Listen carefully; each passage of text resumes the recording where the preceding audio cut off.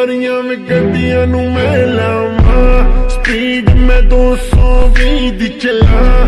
Police ਦੇ ਸਾਹਮਣੇ ਮੈਂ ਨਹੀਂ ਰੁਕਦਾ। ਅਮ ਨਾਈਟ ਰਾਈਡਰ